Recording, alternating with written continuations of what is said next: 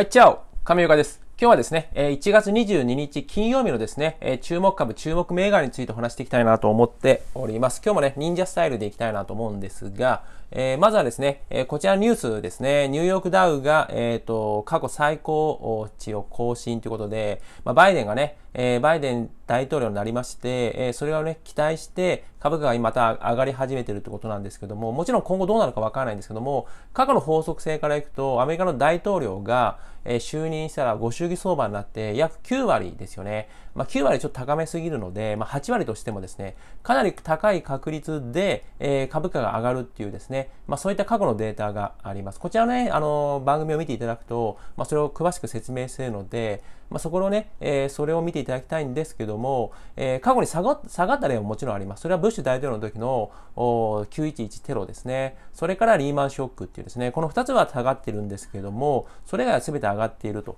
でイレギュラーが起こらない限りは上がりやすいということになりますので、これをね、やっぱ法則性というのはチャートの動きと同じような形で、やっぱ人の心理で、株価とかね、相場は動きますので、これを知ることによって、さらにね、資金が、えー、と株価とかね、リスクの方に、ま流入してくるとことが起こって、さらなる株高が期待できるんじゃないかなと私なりには思ってます。今日もね、えー、いろんな人と、まあ、あのメールでやり取りしたんですけども、まあ、今から株を始めたいので教えてほしいとか、えー、今後ね、えどの株が上がりそうなのかね、えー、ちょっと教えて、もう教えないんですけども、お聞きたいみたいなね、えー、急に友達から 友達だったかなっていう人からもね、LINE が来たりとかも今日時点でしてるので、えー、そういった意味ではね、えー、まあ今後どうなるかな、かなりあの上がる可能性があるんじゃないかなってことは僕は思ってます。もちろんどうなるかわからないんですけどね。まあそれらを踏まえてね、今日の日経はね、233円高の28,756円で取引を終えております。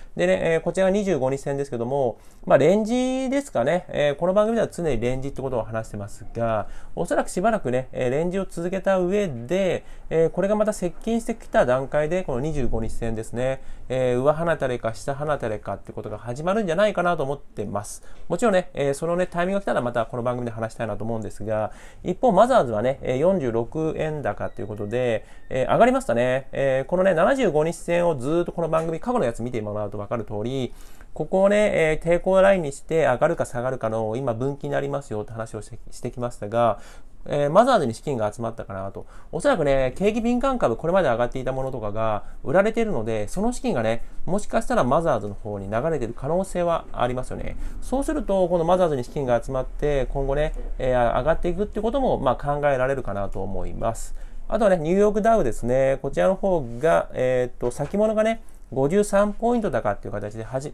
上がって始まっていますよね。もちろんね、えー、先物なので今後わからないですけども、仮に明日また強いようなことがあったら日経も上がるんじゃないかなということことが期待できます。そういった意味では、ホールドって言って、今ね、利確をせずに、まあ、保有しているっていうね、えー、個人投資家も非常に多いんじゃないかなと思います。じゃあ、じゃあ、いつ売り時なのかっていうのが、結構大事になると思いますよね。そこで、この番組ではね、えー、この後か明日ぐらいに、じゃあ、売り時？売り時の番組を特別に作りたいなと思っております。なので、それはね、ちょっと期待してもらいたいなと思っております。そういった意味ではね、え私の、まあ、相場歴20年の、まあ、考え方とか価値観とか戦略を活かして、今日も注目銘柄をご紹介したいんですが、まずはオリンパスですね。えー、オリンパスがね、えー、もうこの番組でも連続で話してますが、また証券、大口機関がね、えー、レーティングを上げてきたということで、これレーティングを上げていないんですけども、まあ、強気に判断したということですね。三菱 UFJ モルガンスタンレー証券ですね。で、これなぜかというと、オリンパスはね、えー、ずっとあのカメラ事業から今ね、医療系の方に、シフトしているんですよね。この行政改革って言いますかね、えー、企業経営改革が、まあ、非常にね、速やかに行われているということで、今後収益改善とかね、えが行われるんじゃないかということで、えー、評価をに値するということです。で、消化器官のね、内視鏡ですね。僕も内視鏡何度もお世話になってますが、これをね、結構、あの、とか治療系のね、そういったものに対してカメラ事業のその技術力をそちらに集中投下しているというのがオリンパスになります。こういったね、えー、製品ですよね。えー、医療機器になりますが、こちらホームページになりますが、ホームページもね、見てもらう通り、もうトップページから、え、外科医療のね、え、イノベーションを起こすっていうことで、もう本当に医療系に力を入れてるんだ。経営陣もね、ここで収益を出していく。もちろんグローバル展開で、今後 6G になったらね、遠隔で、え、医療の治療ができると言われてるんです。今まだ 5G なんですけども、もうほとんどね、え、海外とのやり取りも 6G の時代になると、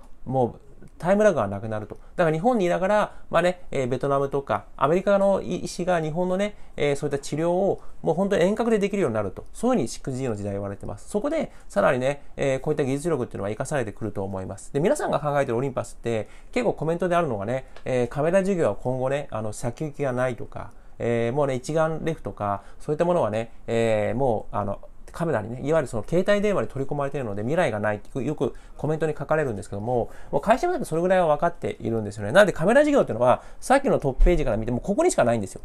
このぐらいその事業性としては、まあ分かりやすく言うと、投資対象になっていないってことなんですね。だこれはね、例えばニコンとかキャノンとかね、えー、場合によってはリコーとか、こういった副写機メーカーですけども、まあ、こういうところもね、えー、何か新しい事業に転換してくるっていうことも考えられるんじゃないかな。投資家っていうのは、いかにその先を読むかってことが未来志向で考えていくかっていうのは非常に勝ちやすく、投資家になるためには大事かなと思います。で、チャートの方はね、1年チャートで見ると、まあ、コロナショックによって1回売り叩かれた後、えっとね、えー、1400円から2400円、約2倍株になった後、今、えー、調整で売り込まれています。で、またね、えー、ここをね、え上げてくると、そう期待できるね、投資家いるんであればね、えまあ、注意から行為、行為から、えさらなる高行為に対してですね、え上払い手をしていくってことが期待できるんであれば、まあ、面白いかなとは思っております。で、続いてはね、えアルペンですね。えアルペンといえばね、スポーツ用品の最大手になります。で、ゴルフ用品とかね、えー、スキー用品とかを、まあ、販売していますが、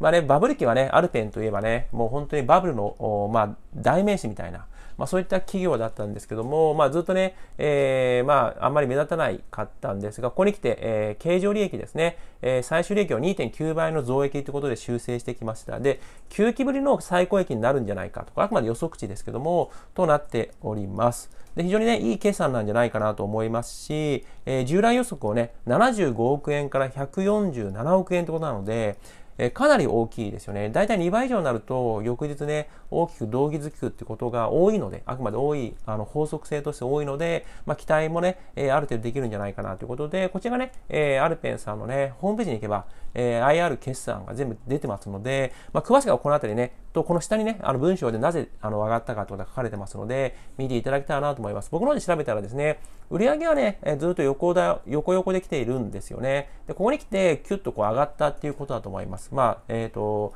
これね、予測値なので、ここからちょっと上がってくる可能性はありますよね。おそらくですけどね、どれくらいそのホームページが今の決戦に追いついてるかどうかっていうのは、ちょっと僕もあの、そのね、ウェブデザイナーに聞いてないのでわかんないんですけど、おそらくこれが、え上がってくるんじゃないかなと、2.2倍以上になってますので、と思いますね。で、営業歴も常に出してますので、まあそういった意味ではね、えー、黒字体質の会社なんじゃないじゃないかなと思いますね。だ経営そのものは、えー、まあ、ブームが去ったといえね、ゴルフとかね、スキーとか、えー、しっかりとね、えー、多角化経営なども進めているんだろうと思いますし、不動産業とかね、えそういった意味では、まあ、盤石な経営をされてるんじゃないかなと僕は予測をしております。で、コロナショックの後ね、えこちらが1400円ぐらいから2400円、これやっぱりね、え2倍株ぐらいになった後、今ね、レンジをになってますよね。レンジの、まあ、あの、今展開の、しかもそのレンジの定義ですので、まあ、これがね、えー、この材料が明日以降ね、好材料として判断されると、まあ、そう考える投資家いたらですね、もちろん株式投資は自己責任になりますので、最終的には皆さんのホームページとか決算内容を見ていただきたいんですが、まあ、面白いんじゃないかなということでご紹介しました。このレンジの間を今行ったり来たりしてますが、まあ、このね、えレンジの中でも定義にあるので、ここからね、上払たりをするという可能性はね、まあ、あの、まあ、五分五分よりやや強いんじゃないかなと僕は踏んでますが、もちろんね、えあとは相場の神神様しかわからないので、よろしくお願いします。あとはアクセルマークですね、え3624ですね。こちらも根経営業黒字と、えー、黒点をしてきております。で、こちらね、あの、スマホゲームとかオンラインクイズとかいろいろやっていたんですけども、この辺から全部もう、えー、撤退をして、主にね、オンライン配信広告、あとはね、えー、ゲームですね、えー、アプリゲームですかね、このあたりにもう主軸にして、えー、やっていくということで、まあ、あの、要は不採算事業から撤退したと。これによってですね、おそらく黒字化を達成したのかなと思いますね。書いてありますね。ここに 6, 6億円近くの赤字から、えー、黒字転換ということなので、まあ、評価に値する。まあ、1000万円の黒字なので、まあ、ギリギリ黒字に差した感はものすごく強いですけども、まあ、今後ね、期待できるんであればってことですね。ブロックチェーン事業とか、広告事業とか IoT 事業とかね、おそらく技術者の派遣とか、これまで使った技術をね、えー、活かして、なんか開発事業なども、もしかしたらやってる可能性はありますね。で、アクセルマークはね、え1年チャートで見ると、ほとんどね、えコロナーショック時とほぼ変わらず、同値に近いですよね。300円前後ということで、え、上、下は300円、上はね、400円の、420円ぐらい、420円ですね、ぐらいのレンジを繰り返してますよね。で、もちろんね、厳選してこの番組でお届けしているので、そのレンジの底根にあるように見えるので、この材料がね、期待できるんであれば、えー、今後ね、えー、上がっていく可能性もあるんじゃないかなということでご紹介しました。ただもちろんね、去年まで赤字だったということで、もしかしたらね、え継続、会社の継続力に対して、もしかしたらアラート、が出てる可能性もあります。その辺はね、指揮法とか、えー、ね、見ていただくと、皆さんのね、証券口座から指揮法とかね、サービスで多分見られると思いますので、出てますので、まあね、あの、継続に、まあ、あの、力がないんであれば、投資するとね、今後倒産とか、え合併とか M&A のね、えー、まあ、敵対的 M&A の対象になる可能性もありますので、それのね、自己判断は皆さんの方でしていただきながら、えー、考えていただけたらなと思います。で続いては松本清ですね。3088ですが、こちらもね、東海東京証券まで出てきたかって感じなんですけども、結構ね、マニアックな証券会社までアウトパフォーム判断をしてきました。要は、買い推奨ですよと、この会社としてはね、ということです。で、既存店のね、マスクの売り上げとか除菌関連が好調というのはわかるんですけども、やっぱ松本清地といえばね、上野とかね、新宿、銀座を中心に、まあ、訪日客に対する需要がね、えー、結構あったんですが、それが、まあ、あのね、えー、剥奪されても、それをあまりあるね、えー、売り上げを期待できるんじゃないかっていうのは結構強いってことですね。もちろんこの辺がね、売り上げに貢献するってことがありますが、あとはね、えー、やっぱりその、日本っていうのは今後もしかしたらこの情報をね、なぜ皆さんにお届けしたかっていうと、もちろん厳選してお届けしてるので、まだまだいろんな情報、あ材料が今日出てますので、それは皆さんので見ていただきたいんですけども、結構今後ね、このコロナショックを起点にして、日本の経営体質、経営力とか、えー、あとはね、生産性とかっていうのが結構ね、海外で遅れていたって言われてましたけども、これね、海外を抜くんじゃないかなっていう僕は期待をしているんですね。一気に、えリモートワークもそうですけども、あの生産性とかね、え人材配置とかが一気にこう加速化しますよね。で、日本っていうのはね、やっぱりその前に中国で、え、レアメタルですよね。えーモリブデンとかね、そういったレアメタル系が中国が輸出禁止したんですよね、尖閣問題で。その時に日本はね、廃れるんじゃないかと思ったけど、いやいや、そんなことなくて、じゃあもうレアメタルがなくても生産できるようなえー、物とか機械とか開発して日本電産とかね、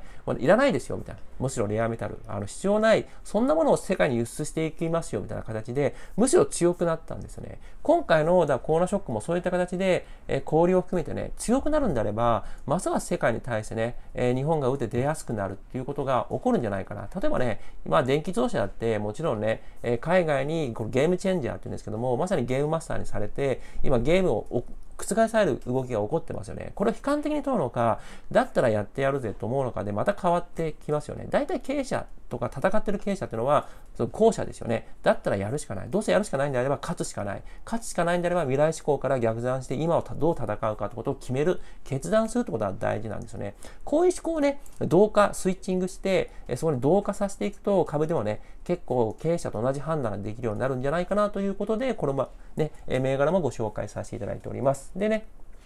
レーティングを上げてきたきたということで、まあ、ドラッグストアとしてね、もちろんね、あの訪日客に対して期待していたところが剥奪されても、なお営業利益、経常利益ともにね、えー、維持できるんであれば、それはもちろん訪日客が戻ってきた時はもっと強いでしょうということに当然なると思うんですよね。そういった意味では期待ができるんじゃないかなということでご紹介させていただいておりますが、1年チャートで見ると、3200円ぐらいからですね、約5000円まで上がったので、約1.8倍ぐらいまで上がったんですかね。そこから今、調整に入ってますよね。だからこの調整の押し目を買うかどうかっていう判断が今求められているところになると思いますね。もちろんこの、ね、今75年線に接近をしてますので、ここね、ブレイクしたらもっと下に行くってことも、もちろんあの当然あると思いますが、まあ、これがね、このの分岐を、まあ、あの今ちょうど分かれ目になってますので、上に上がると思えば、えー、まあ、そういった判断、買いの判断もできますし、下がると思えば、さらなるお攻め待ちっていう判断もできるんじゃないかなと。で、今日紹介したから、明日買うとかね、そういう判断する必要はありませんので、あくまで私は、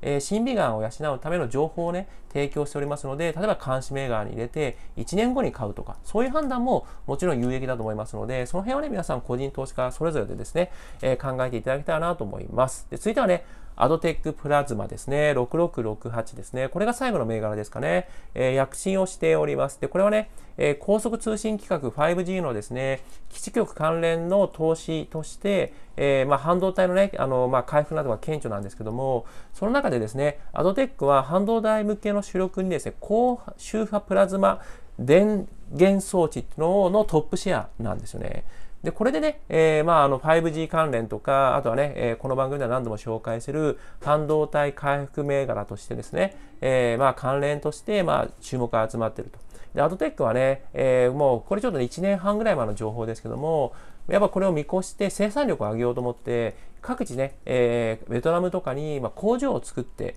おりました。これがね、やっぱ未来投資、まあ、当時の未来投資なので、いよいよね、それが収益性に貢献されてくるようなことがあれば、ということで注目を集めているということになります。で、プラズマね、高周波電源っていうのは、さすがにちょっと僕この辺のね、詳しいことはわからないので、まあ、前回もね、えー、こういった技術系なことは、あの、コメント書いていただいた、まあ、親切な方がいたので、まあ、そういうのをね、見ていただきたいと思うんですが、今回もし詳しい方がいたらですね、えー、詳しく教えていただいたら勉強になるので、よろしくお願いします。で、売上はね、えー、まあ、こういった形で2018年が最高益で、えー、今はね、えー、なんとかもう一回を持ち直そうとしてるって段階になりますが、これが形状ですね。えー、まあ、赤字にはなってないですよね。2018年は良かったんですね。で、これ設備投資をしたという形になると思いますので、えー、さらなる拡大が当然ね、2年先を見越して、まあ、よく会社で5カ年計画って言います言う言うと思うんですが、やっぱり、ね、5年ぐらい先、まあ、最低でも2年ぐらい先を見越して人を採用したりとか、設備投資をするので、こので多分設備投資してると思うんですよね。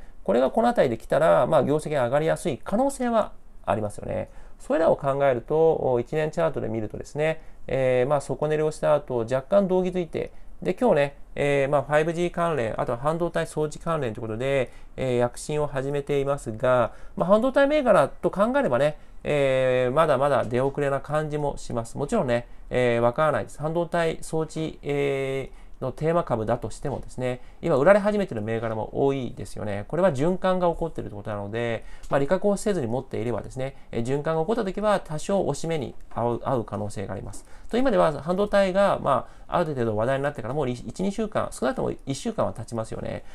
若干調整が入る可能性はあるかなっていう、僕は相場歴20年やってますけども、思いますが、まあ、それらを踏まえてですね、えー、このレンジの底根を逆にね、取っていくっていう投資判断ができるんであれ、投資判断ができるんであれば、まあ、一つ監視銘柄に入れても面白いんじゃないかなということでご紹介しました。こういった形で、まあ、大口の動向とかね、期間のま動き、それからまあ4000銘柄のチャートパターンからですね、皆さんに有益な情報も今後お届けしていきたいと思っておりますので、もしね、え興味がある方はチャンネル登録の方もよろしくお願いいたします。それからね、え今後の売り時とかね、えそういったものの、え番組はね、この後、まあもしかしたら明日週末になってしまうかもしれないんですけども、え積極的にね、作っていきたいと思っておりますので、よろしくお願いいたします。それでは今日は以上になります。高速で GO!